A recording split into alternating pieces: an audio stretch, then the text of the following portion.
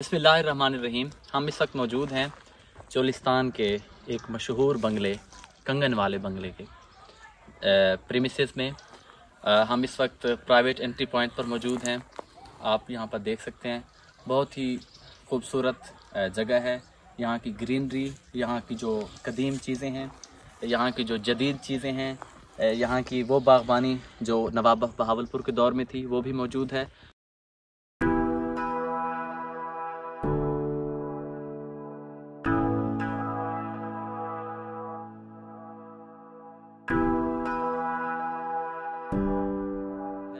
और यहाँ पर वो चीज़ें भी मौजूद हैं जो आज की नोक पलक है, आज की आर्ट और क्राफ्ट। आपको बैकग्राउंड में हम दिखा सकते हैं कि यहाँ पे ये जो जंडियाँ मौजूद हैं, ये जंडियाँ बहुत पुरानी हैं, कदीमी हैं और यहाँ पे परिंदों की चहचहाट और यहाँ पे तीतर और जो जंगली हयात है, उसको जो तहफ़ है, उसके भी मिसाल नहीं मिलती।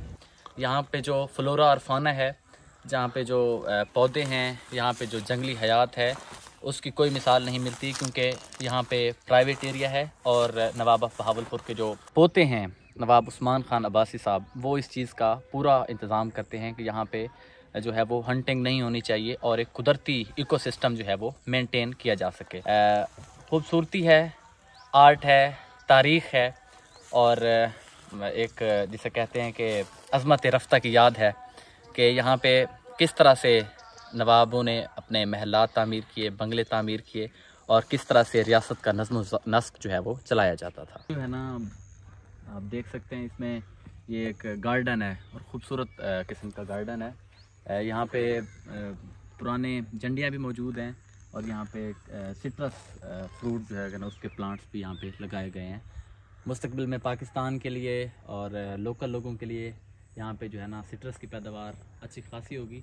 और ये जो है ना नवाब बहावलपुर के जो आगे औलाद हैं, जो उनके आगे शहज़ादे हैं, वो एग्रीकल्चर पॉइंट ऑफ़ व्यू से भी बहुत ज़्यादा लगाव रखते हैं, क्योंकि ये मुल्क ज़रिए मुल्क है और बहावलपुर रियासत का जो सतलुज वैली प्रोजेक्ट था, वो जो है ना, एक मुँह बोलता सबूत है कि किस तरह से नवाब बहावलपुर और उनके एंसेस्टर्स अबा अजदाद जो है वो पाकिस्तान को एक बेहतरीन इकॉनमी बनाने के लिए कोशा रहे। और अगर आप दो सदियाँ पीछे चले जाएँ तो उनकी हिस्ट्री शानदार है। और अगर आज मौजूदा पाकिस्तान की बात करें तो एक बहुत वसी अरीज़ रकबे पर नवाब बहावलपुर के शहजादे जो है, वो काश्तकारी कर रहे हैं। मुल्क के लिए आवाम के लिए हर किस्म की जो हो, अजनास हैं, वो पैदा कर रहे हैं। और ये जो बंगला है, खसूसी तौर पे जहाँ मैं खड़ा हूँ ये आप यकीन करें, पूरे चोलिस्तान में एक this is like an oasis in the desert ये एक, आप कह लें कि दूर दराज आपको इस तरह का कोई पॉइंट चोलिस्तान में नहीं मिलेगा। ये चोलिस्तान है, लेकिन अगर आप इसके प्रीमिसेस देखें, यहाँ पे इसका माहौल देखें तो आपको बिल्कुल लगेगा कि ये एक ग्रीन एरिया है लश ग्रीन एरिया है और ये कोई डेजर्ट नहीं है। लेकिन ये डेजर्ट है। ये विज़न है नवाब बहावलपुर का और ये विज़न है एक जो है वो, पाकिस्तान से मोहब्बत करने वाले आदमी का कि किस तरह से मुल्क को आगे लेके जा सकते हैं। और ये एक वाद हल है। मौजूदा सूरत हाल को अगर देखें तो अगर पाकिस्तान में जो एग्रीकल्चर के जो मसाइल हैं, उनको हल करने के लिए कोशिश की जाए, और एग्रीकल्चरल जो लैंड है, जो डिज़र्टेड लैंड है, उसको अगर कल्टिवेबल बनाया जाए तो बहुत से मसाइल, फ़ूड के मसाइल हल हो सकते हैं।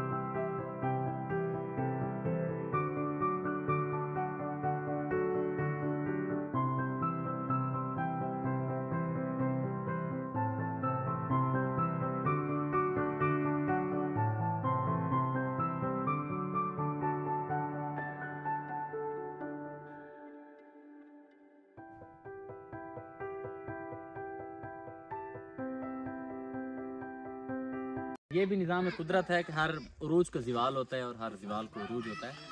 ये जो बिल्डिंग है, ये बंगले की पुरानी फॉर्म है। ये भी बंगला हुआ करता था। वो बंगला जो आपको पहले दिखाया है, वो जदीद है और ये उससे पहले की बिल्डिंग है। शिकस्त तो रेख का इसको सामना है और ये आप देख सकते हैं कि ये आर्च, इसका जो है बिल्डिंग स्ट्रक्चर आर्च में है। और काफ़ी अभी भी ये मज़बूत है, आंधियों के बावजूद, तूफ़ानों के बावजूद, ये अपनी हायत कायम करने की अभी तक भी कोशिश जारी रखे हुए है।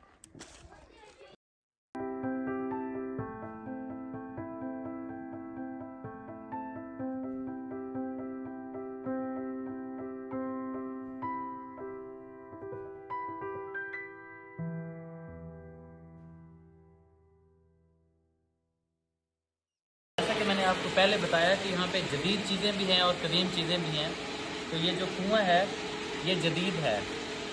जदीद है, लेकिन इसमें जब जो जिद्दत है, वो इस लाल पम्प की वजह से है। अगर इसकी तारीख के और पलट कर देखें तो ये सदियों पुराना कुआँ है। लोग दूर दूर से जानवर लेके यहाँ पे आया करते थे। जानवरों की मदद से और मैन पावर से जो है ना, पानी यहाँ से निकाला जाता था। और लोग अपनी बारी का इंतज़ार करते थे और यहाँ से पानी ले भी जाते थे और अपने मवेशियों को यहाँ से पानी पिलाया भी करते थे। और ये आज भी कायम है, मीठा पानी है और कुदरती ज़रिया है पानी हासिल करने का। अभी भी यहाँ के जो लोकल हैं यहाँ से पानी लेने के लिए आते हैं, लेकिन आज ये जो है, एक कुआँ है, ये जिद्दत का और जो है ना, पुरानी चीज़ का एक खूबसूरत इंतबाज ये जो बैकग्राउंड में मस्जिद नज़र आ रही है ये जो है ना, नवाब बहावल होते हैं नवाब उस्मान उन्होंने यहाँ पे तमीर करवाई है। यहाँ पे जो उनका पर्सनल स्टाफ होता है या जो लोकल लोग नमाज़ अदा और अल्लाह की बारगाह में सरबत सजूद